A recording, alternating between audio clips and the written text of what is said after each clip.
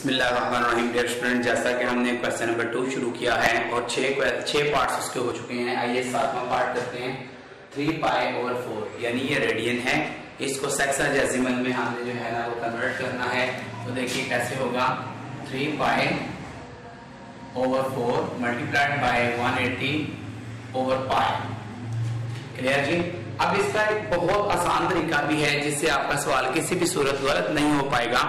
वो क्या है? कि आप ऐसा करिए कि 180 को 4 पर डिवाइड करिए ऐसे। ये देखें। 180 डिवाइडेड बाय डिवाइड ये वाला नहीं, ये एबीसी वाला। ये एबीसी वाला जो मैंने पहले भी बताया ये। डिवाइडेड बाय 4 ये आपका 45 आ गया मल्टीप्लाइड बाय 3 मल्टीप्लाइड बाय 3 तो जनाब आपका 135 डिग्री आंसर आ गया। 135 डिग्री ये आपका आंसर आ गया। आगे चलते हैं एट पर five pi over six multiplied by 180 degree over pi फिर आप उसे उसी तरह कर दीजिएगा। ये देखें 180 ये वाला डिवाइडेड बाय ये डिवाइडेड बाय सिक्स ये आ गया 30 30 को 5 से मल्टीप्लाई कर 5 से मल्टीप्लाई कर दें, आपका 150 डिग्री आंसर आ गया।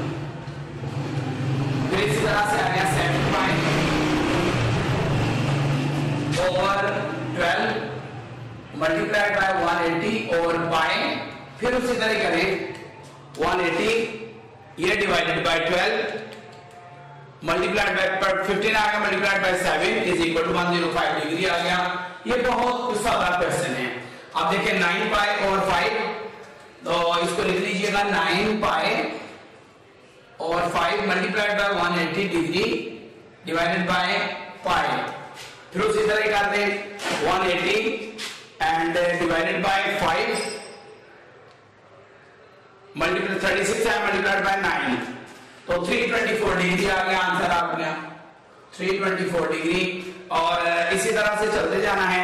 फ़िलहाल आपको मैंने सातवां आठवां नवा और दसवां प्रश्न करवाया है जो कि मैंने तरीका बता दिया इधर से आपने करना है। क्योंकि आगे मिनट्स और सेकंड्स भी आएँगे तो ये आपकी बहुत ज़्यादा हेल्प करेगा। मैं बताता चलूँगा कैसे आगे करना है।